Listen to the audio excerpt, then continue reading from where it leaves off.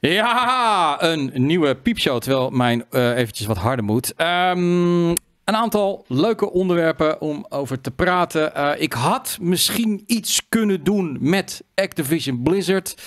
Uh, op dit moment spant het er namelijk heel erg om in Amerika. Um, het is voor mij zo langzamerhand te ingewikkeld worden, maar de FTC, er is nu in ieder geval een soort van appeal.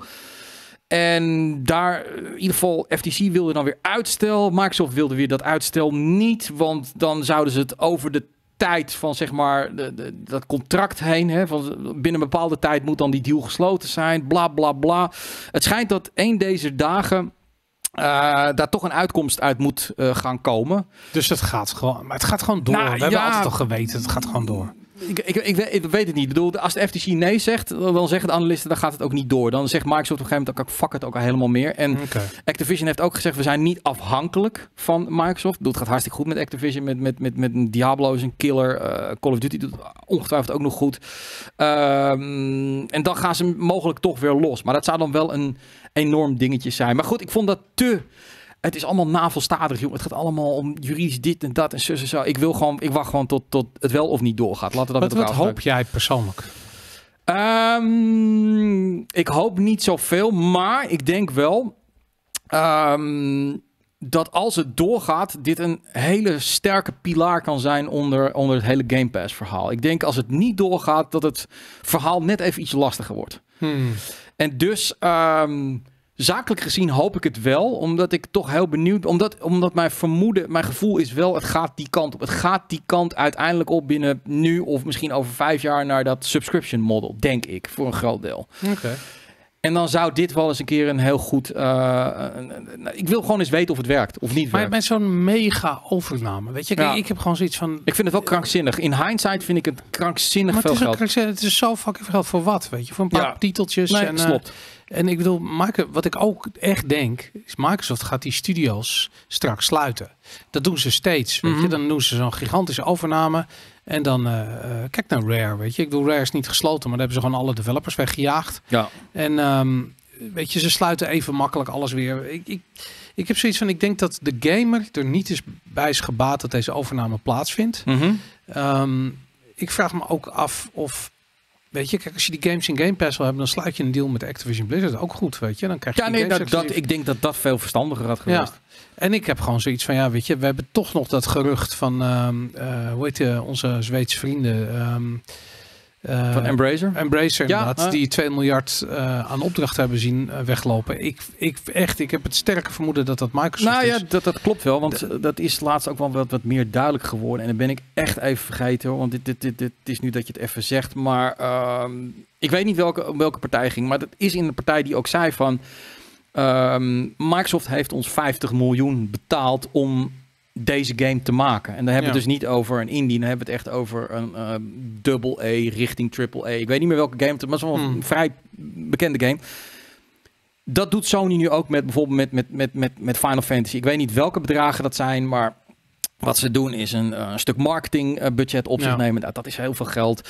Uh, technische know-how. Dus er zullen ongetwijfeld wat mensen van Sony die gewoon heel goed weten hoe die PlayStation. Die gaat naar Square toe, zodat je de perfecte game. En wie weet gaan ze, betalen ze ook nog wat extra's. Weet je. Dat, dat, dat maakt, maakt meer sens. Want je neemt feitelijk een gigantisch bedrijf over. En daar heb je helemaal gelijk. Het eerste wat, zo wat je altijd ziet bij merges is gewoon... Oké, okay, nou dan gaan we eerst gaan we alle marketeers eruit gooien. En alle, alle, alle managers, ja. want hebben er twee van. En vervolgens, nou oké, okay, maar Game X, hoeveel mensen zitten erop? 500. Nou, dat, dat moet toch ook wel met 400 kunnen, want we hebben er nog 100 bij ons ja, zitten. En, en de game verkoopt wat minder dan verwacht, weet ja. je. Hop, boom, hop, weer studio dicht, weet je. Nee, dat gaat Dus dat, dat, dat zou uh, kunnen gebeuren.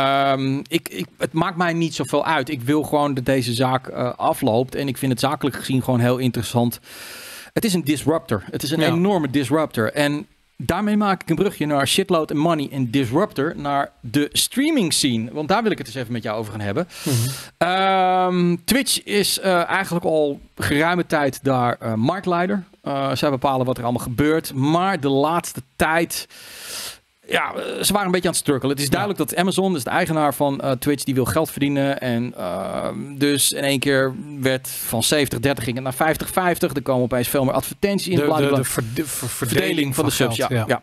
En eh, zo af en toe dan komt er een nieuwe partij die probeert dan te disrupten. Die probeert die markt Ja. te verstoren. Nou, dat hebben we al met Xbox gehad. Ik ben even de naam kwijt van hun streaming servers. Dat heet eh eh, dinges. Dinges. Hoe heet dat nou? Dinges? Ik Toch? weet het even niet uit mijn hoofd. Zal ik het, zou ik het kunnen googlen? Jezus, hoe heet dat nou man? Wat is dat nou? Ga ik even kijken. Even kijken hoor. Ik, eh, Microsoft. Puntje van mijn tong. Met Ja. een S. Iets met een S. Microsoft. Of met een T. eh, stream. Oh mijn god. Nee, dat ga ik niet vinden. dan ga je deze manier ga je het niet vinden. hè? Nou, nou, nou. We Uh, weten het hoe heet het nou man? Ja, oké. Het heet... we gaan net kun je zo- nagaan hoe snel dat gaat? Ze hebben Nou 100 ja. miljoen uitgegeven aan Ninja. Zoek eens even 100 miljoen aan Ninja. streaming platform. Komt het dan nu? Mixer. Mixer. Mixer. Dat zeg ik toch. Mixer. Nou, Mixer was dus ook een beetje een disruptor. Die ging dus inderdaad, wat doe je dan? Dan ga je proberen wat, wat van die grote jongens naar je toe te, te Ja. kapen. Eh, volkomen mislukt. Maar nu is er weer een nieuwe partij en die heet Kik. En Oh, kijk. ehm, Kik is een bedrijf uit India. Australië. Oh, Australië. Het is opgericht vanuit een, eh, een casino eh, website. Dus het is een online casino eh, gebeuren. Nou, die hebben, ook het, hebben toen ook een streamingplatform Kik gedaan. Hou je vast, Boris. Kik heeft een tweejarig non-exclusief, non-exclusief contact, contract gesloten met? Met, deze jongen. En dit is de grootste streamer die er is ter wereld. Het Dokter is, Disrespect. nee, het is niet Dokter, dus het, is, het heet eh, QC. Oh, XQC. Oké, wat streamt hij? 100 miljoen dollar voor twee jaar. Oké. Eh, daarvoor hoeft hij niet per se op Kick te streamen. Hij moet wel wat op Kick doen, maar hij mag ook rustig op Twitch streamen. Hij mag ook Bizar. YouTube streamen. Dat Ja. soort dingen. Een 100 miljoen deal. Het is geloof ik 75 en dan kan hij door eh, bepaalde targets te halen, kan hij helemaal naar 100 miljoen doorstromen. ik ga even kijken. Ehm, nou ja, goed. Leuk voor hem. Ja, jij zegt ook van, ja, hoe de fuck is die... Is die dan groot? Eh, hij is de grootste streamer die er is. Eh, dit is inderdaad eh, QC. Hij heeft gemiddeld any time of the day als hij gaat streamen 50 tot 52.000 mensen concurrent. Ik vind dat, ik bedoel, dat is wel veel. hoor. Ja. Meer dan ik heb. Maar, maar ik heb precies van, is dat nou zoveel? Weet Nee, ja, goed, daar gaan we het zo over hebben. Ehm, dan zie je dus, hij is inderdaad absoluut de grootste die er is. Ehm, en een ander heel leuk gegeven daarbij. Dit Wat streamt hij dan? Wat is er dan zo bijzonder? Hij zit gewoon te gamen. Hij zit te gamen. Ja, Wat zit hij dan te gamen? ehm, Inderdaad, ehm, dit is de allergrootste basketballer. Misschien ook wel een van de grootste sportlegendes ter wereld. Die LeBron James. gewoon minder. Die heeft een tweejarig deal, een contract extension eh, getekend voor 100 miljoen. Dus hij, hij, eh, de QC eh, staat nu inderdaad binnen de entertainment deals in Amerika op nummer 9. Ja, maar ik moet je wel zeggen dat je dit is appels en peren vergelijken. Nou ja, in zoverre appels en peren kijken. Ik bedoel, zijn wedstrijden worden door miljoenen mensen bekeken. En ik geef Ja, het helemaal gelijk. Deze man eh, door 50.000. Dus ik, ik, de, de baas van Kik zegt ook... eh, we zijn hier niet om winst te maken op dit moment. Eh, we gaan grof verlies leiden. Maar ik wil gewoon die markt disrupten. En Hmm. wat is Kik? Wat is hun... Ja, waarom zou ik bij Kik willen? Omdat zij zeggen, wij zijn er voor de streamer. Wij zijn Ja, er niet voor onszelf. doei. 95% van je sub mag jij houden. 5% is voor ons. Oké, nou, klinkt een goede deal. Exact. Dus dat is waar ze mee houden. Ze hebben nu sinds Totdat dat... ze het veranderen naar 50-50. Tuurlijk, tuurlijk. Eh, zij hebben nu ehm, eh, afgelopen week hebben ze 1 miljoen nieuwe leden erbij ge- eh, gekregen. Eh, Hmm. Ze zijn nog verreweg kleiner dan, dan Twitch. Hoe groot Eh, zijn ze dan? Ze zijn echt nog mieren. 7, 8 miljoen mensen Ja, dat. Nee, nee, absoluut. Eh, maar je ziet wel dat de boel aan het disrupten is. Eh, ja, ze zijn een disruptor ja, geslagen. toch Amorant is nu ook overgestapt. Oh, Amorant. Amorant, Amorant. Er staat Had er niet een bij. vriendje niet de auto in de fik gestoken? Zoiets? Zoiets. Ik weet ook niet of ze nu ehm, eh, daarvoor betaald krijgt. Oh, er is nog een andere. En die moet je aanspreken bij Kik. No rules. No rules? There are no rules. Alles mag. Oké. Wat er dus gebeurt is dat heel veel jongens eh, gewoon porno daarop streamen zijn. Oh. drugs aan het gebruiken zijn. Wat, op Eh, Kik? Dat mag op Kik. gewoon. Ja, nee, Ja. er zijn geen regels. Dus in principe mag je ook alles zeggen en laten. Je wordt er Ik niet... geloof er echt geen reet van. Hey, ik ben advocaat D- van... dat duurt precies drie maanden nog. En dan is het afgelopen met, met alles wat, wat niet door de buis Ehm, ja, nou kijk, en dan Uh, daartegenover, want kijk, je kan natuurlijk zeggen van oké, die kick die, die kick die is aan het disrupten als een malle.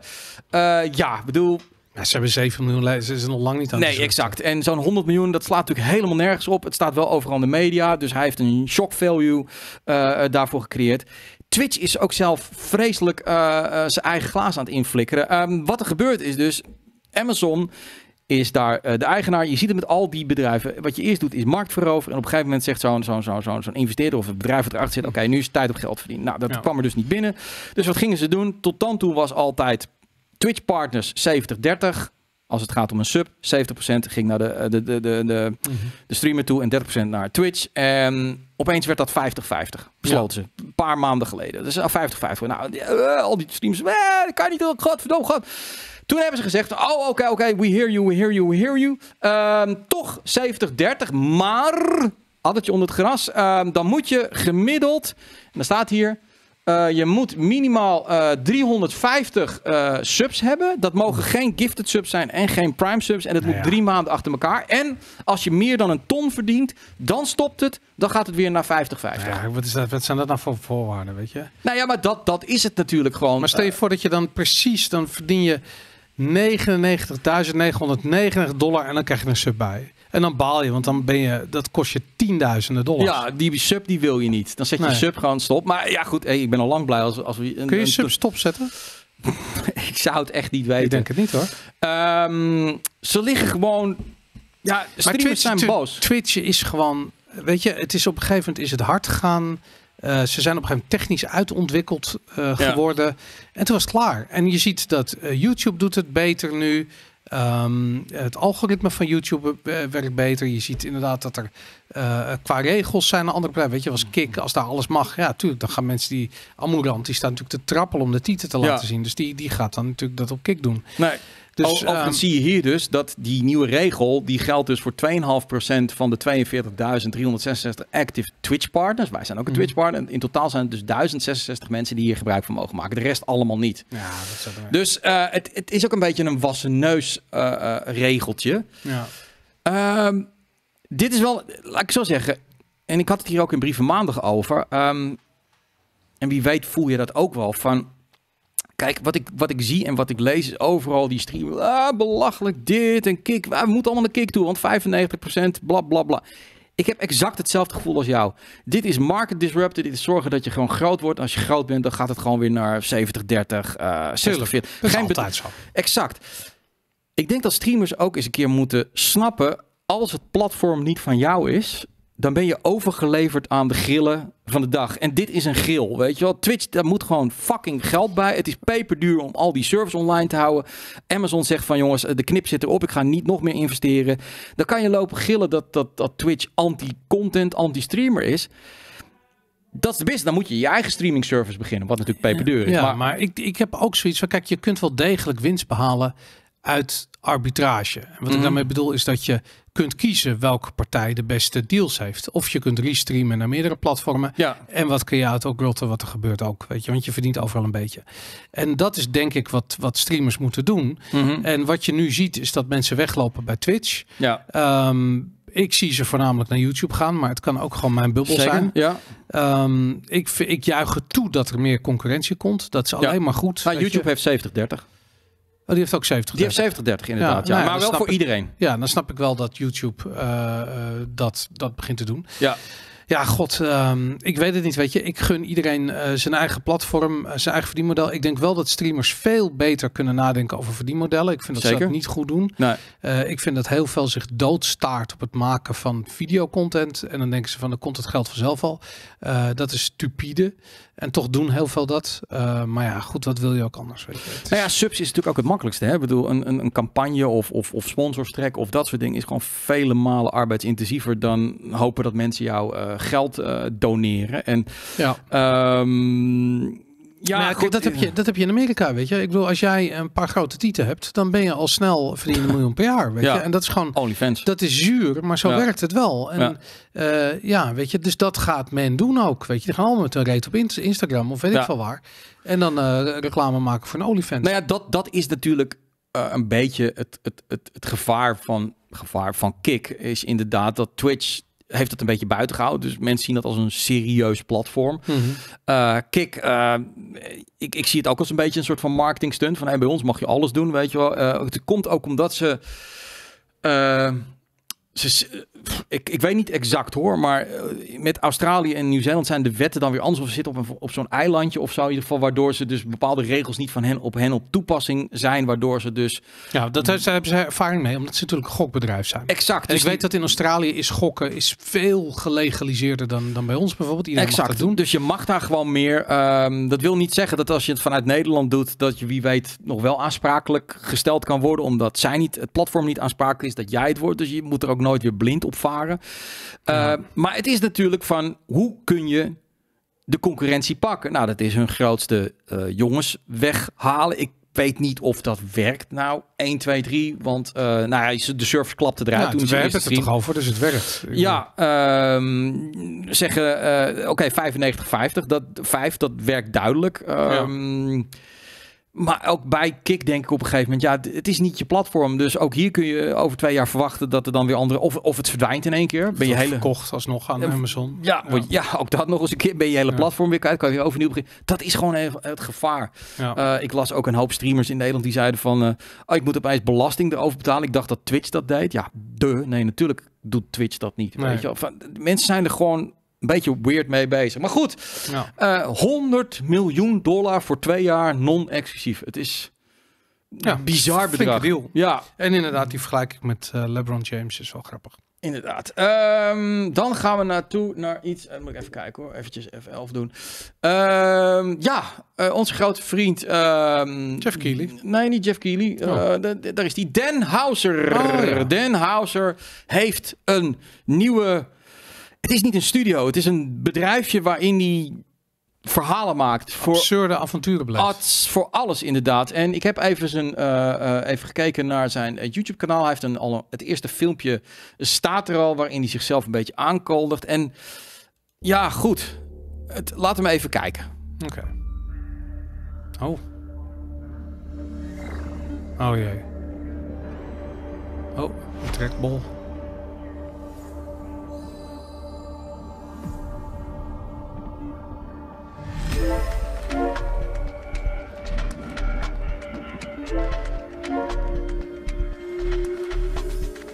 Thank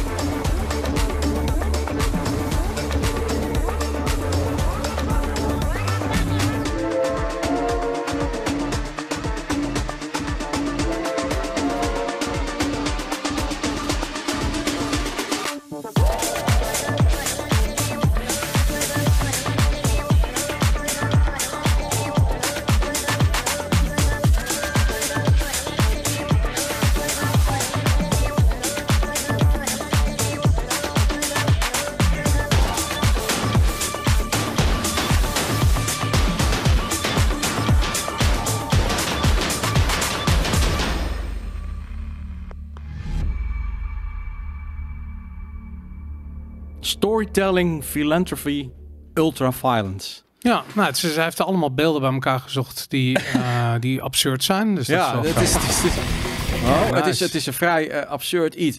Uh, als je dit ziet, het, ja, dit is een filmpje waar je allerlei dingen uit zou kunnen halen. Denk je dan, fuck, die, die had gewoon niet... Ze gaan hem missen bij Rockstar? Nou, kijk, ik denk dat uh, als dit filmpje niet van Dan Houser was geweest, dan had niemand hier naar gekeken. Dan had het nog geen vijf views. Nee. Uh, zo bijzonder is het niet. Um, ja, weet je, ik bedoel, eh, hij, kan, hij kan van allerlei nog wat voor ideeën he- hebben over storytelling en ultraviolence en als we fantasie erop loslaten. Aan het eind van de rit is gewoon, kijk, hij gaat never, nooit meer een paar miljard bij elkaar krijgen om een videogame te maken. En dat is Mhm. natuurlijk wel wat hij met GTA had. Of had hij dat? Ik Ja. weet niet of hij dat had. Want het is natuurlijk door Rockstar gekocht, maar of door, eh door to, Take-Two Ja, gekocht. Ja. Ehm, ik, ik weet het niet zo goed. Ik, ik, ik heb ook altijd met dit soort gasten heel erg het gevoel van... ehm, ze hoeven niet meer de wereld te veranderen. Weet je, ze Mhm. zijn multimiljonair. Ja, zeker, Ze zeker. Het hoeft allemaal niet meer zo erg. Ik snap wel dat je zo'n videootje maakt en denkt van ja, ik ga absurd en ik ga filantropie doen en ultraviolence, lachen, alles bij elkaar.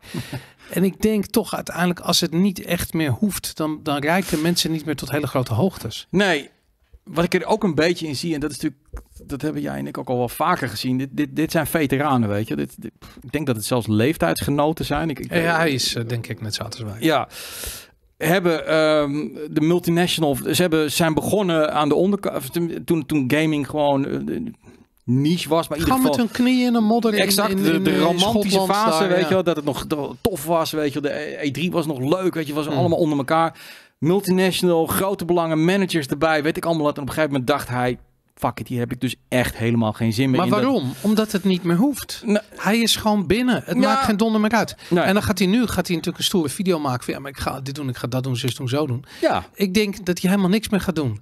Want om heel eerlijk te zijn, als Ja. hij ziet wat voor een hoofdpijn en fucking ellende erbij komt kijken om een bedrijf op te zetten, ja. dan heeft hij zoiets van, ja, dat kan ik doen. Of ik kan gewoon lekker in de, eh, op de... Het kan toch ook eh, weer gaan kriebelen? Dat hij een paar jaar nu op Ja, Bali heeft gelegen. En dat hij denkt, ja, het maar- kriebelt een beetje. Nee, want dit soort gasten, die, Ja. die, die, die- kijk, hij kan zijn kennis en ervaring meenemen Mhm. en bijvoorbeeld andere bedrijven gaan coachen. ja. En dat, eh, dat kan. En hij, weet je, ventures, het, het, het, het neigt ook een beetje naar venture capital, naar investeringen. ja, Het zou best wel kunnen zijn dat dat dit is hoor, dat hij zelf helemaal niks meer gaat doen. hij blijft gewoon in Bali. Nee, ja, hij zit gewoon lekker op Bali, zit gewoon te kijken, oh, dit project wel en dit project niet. Ja. Weet je, dat zou heel goed kunnen.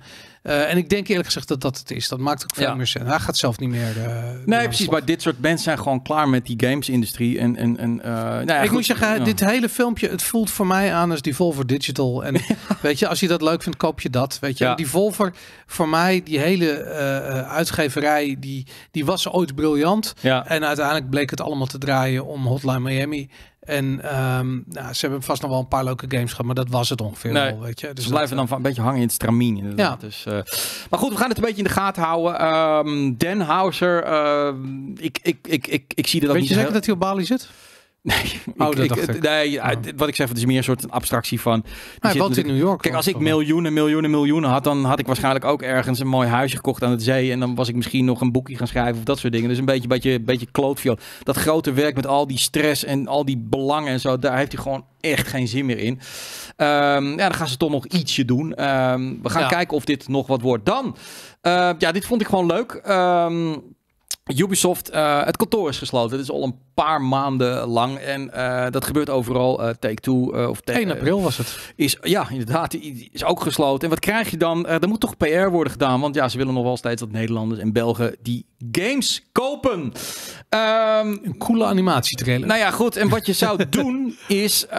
wat er veel gebeurt is dat er een PR-bureau... in, een Nederlands PR-bureau wordt ingehuurd. Als een Vertigo of een Day One. En die maken voor jou dan, zeg maar, op basis van de Engelse of Duitsstalige eh, social media posts. Die maken ze dan de Nederlandse versie Ja. van. Nou, denkt Ubisoft, dat kan veel beter. Dat doen we gewoon met Google Translate. Eh, iedereen Ja. houdt van een coole animatietrailer. Klaar om mythische bosbillen te schoppen. Nou, waarom niet man? En, Bosbillen nou ja, goed. goed. ehm, eh, dan is het een klein zoektochtje en dan ben je zo bij de Duitse versie. En ik weet eventjes dat degene die de PR doet voor de Benelux, dat is Duitsland. En daar staat, jeder liebt een coolen animierte Trailer, bereid een paar mythische Bosch-Ersche toetreden.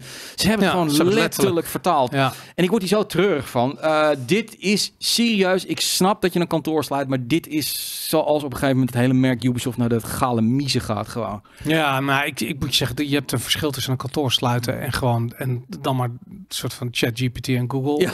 eh, Translate dit laten doen. Ja, Eh, dit is slecht, maar om heel eerlijk te zijn, dit, Ja. weet je hoe lang het al standaard is dat persberichten bijvoorbeeld vertaald worden? ja, Google oh, ja die En- ziet niemand. Hè? Nee, niemand ziet dat. Maar dat Ik lees ze niet eens meer. Ik weet dat het altijd onder gamejournalisten was het dan een Ja. beetje de grap om daar dan dat naar elkaar toe te sturen van oh, oh, kijk eens hoe slecht dit nou weer vertaald is. Ja, En uh, sommige gamejournalisten boden zichzelf ook aan om shit te vertalen. Ja. En uh, ja, ik denk dat uh, Ubisoft er goed aan doet om gewoon een lokale, weet ik veel, studenten in te huren om, om ja. dit soort tweets te maken. Want dit, dit nou gaat nergens over. Het grappige was dat we met een van onze presentatoren was op een feestje afgelopen pff, vorige week van, ik, ik, ga even dan niet de namen noemen, van een niet, ja, na, jammer, niet namer te noemen.